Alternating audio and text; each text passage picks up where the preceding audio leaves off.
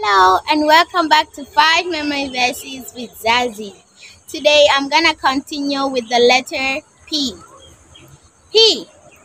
Praise the Lord for it is good to sing praises to our God. Psalms 147 verse 1a. Q. Quench not the spirit. 1 Thessalonians 5 verse 19. R. Remember the Sabbath day by keeping it holy. Exodus 20 verse 8.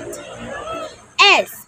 Seek the Lord while he might be found, and call unto him while he is near. Isaiah 55 verse 6. Trust the Lord with all your heart and lean not on your on your understanding. Proverbs 3 verse 5. Thanks for watching this video. Bye. May God bless you.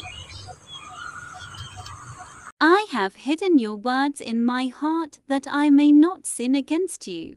Psalms 119 to 11.